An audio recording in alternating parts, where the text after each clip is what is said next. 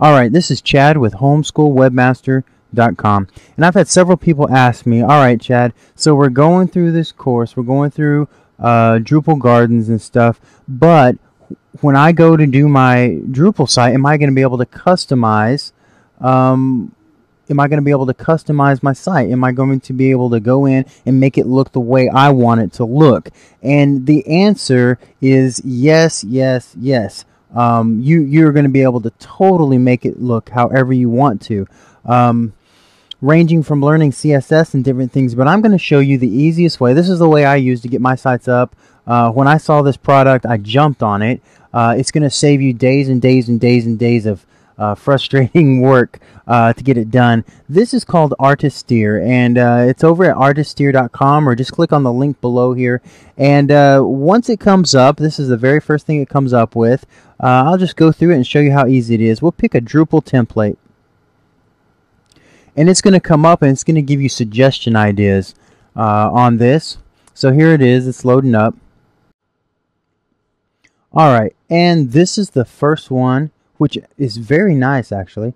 Uh, the first one that pops up. Now remember, as you're going through this, do not get hung up. Oh, I don't like this header. You can change it oh, I don't like this uh, this green here. I'd rather have brown or something like that. Don't get caught up on that. And especially the backgrounds might throw you. Like, I really don't like palm trees. Just look at the design because everything is changeable here. Everything is changeable. So as you scroll down, you, you ask yourself, well, do I like the left-hand side, uh, the menu bar being on the left-hand side, or would I rather have it on the right? If you like the design, um, go in here and we can go to layout Go to page layout here.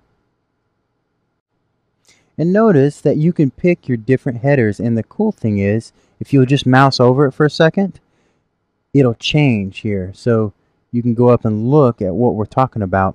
And yeah, kind of like that maybe. Or maybe I like that a little better. Uh, you can just see how it puts it on top there. Uh, you can kind of see, uh, here I am pointing at the screen and sorry about that. But also over here under layout, you can choose, do you want it on the right hand side? Just mouse over just a little bit here and you're going to find that it switches it right over here. And um, so you can design this however you want. I'm going to go with this design right here.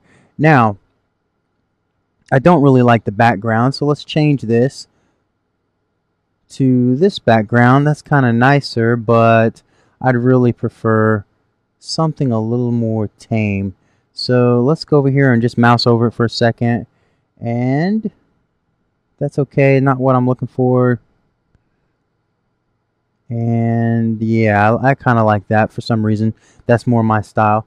And let's go over here to header. And let's put a little guy on it. And the little guy appears right here uh, on the side. And then you can come over here and choose a background or uh, now I'm not going to do this. You can import your own uh, from file right here. So you could go in and import it. Now I am just going to use one of their stock ones here. Uh, maybe the sunset right there. And so now you've got a really nice site going along there. It's kind of got, you know, a professional look there. And you can go in and change the sidebar.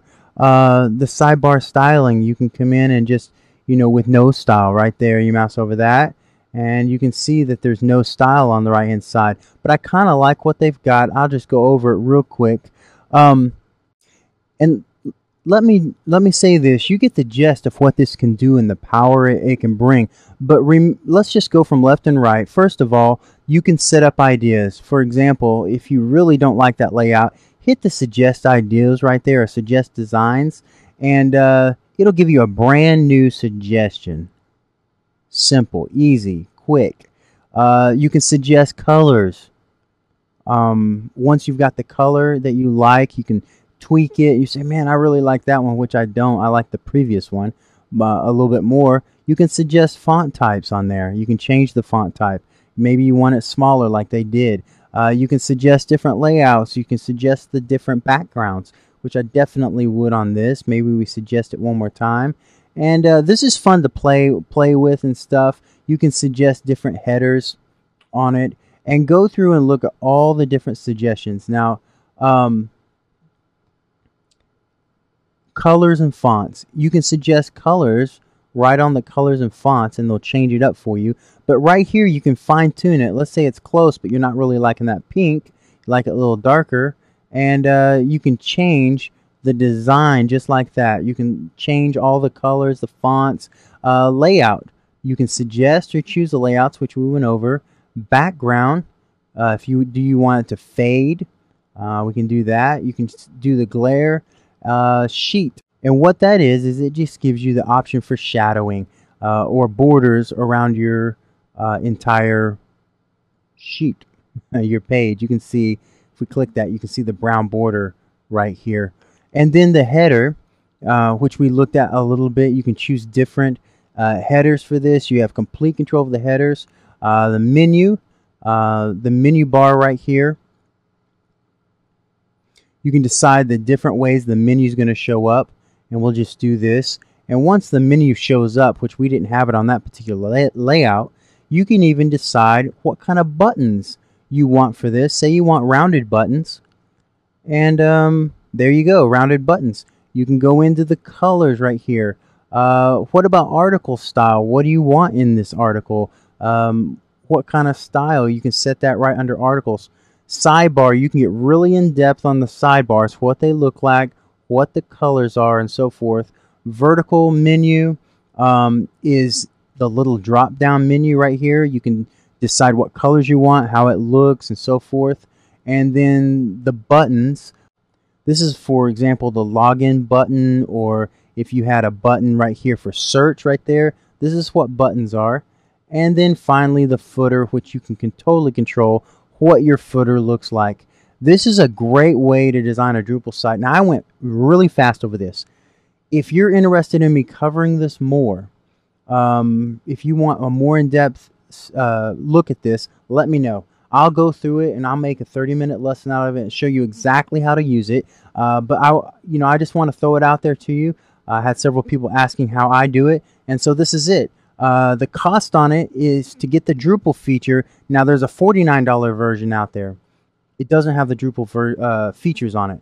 There is a $129 version, and let me tell you, you're going to make your uh, your money back in the time you save. I mean, this thing is a time saver. You're going to uh, save days and days and days. It's already saved me uh, at least a week's worth of work. I can sit down and uh, less than an hour design a site and be up and done with it. Uh, whereas before it would take me a day or two or three to get the site right, and, the, and, and that's per site. So if you're looking at um, designing sites for other people, use this program. You'll pay for it the first time uh, it, it's a no-brainer. The final thing you need to know about this program is how to export what you've got to Drupal. So here you go. Go to File and export Drupal theme, not HTML page. That's a uh, if you're just doing HTML, do a Drupal theme. It's going to ask you where you want to save it. You can save it as a folder or a zip file.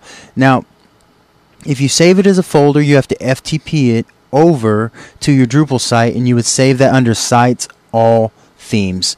Uh, you just put that folder in there uh, and whatever name you name it here is going to be the name of the folder.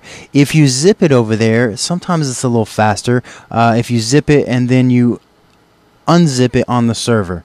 Um, if you don't know how to unzip it on your server, then just make it a folder, FTP over to your site's all themes.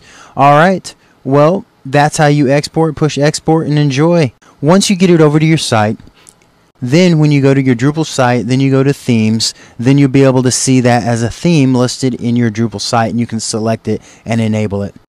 Final thing is, is if you click on the link below uh, in the YouTube box there, or if you're on the site, uh, if you click on that, it'll help uh, to support my site. I make a little bit back on that and just want to be upfront on that, that yes, I do make a little bit back on that link. That's how I make my living. All right, guys. I'll talk to y'all later.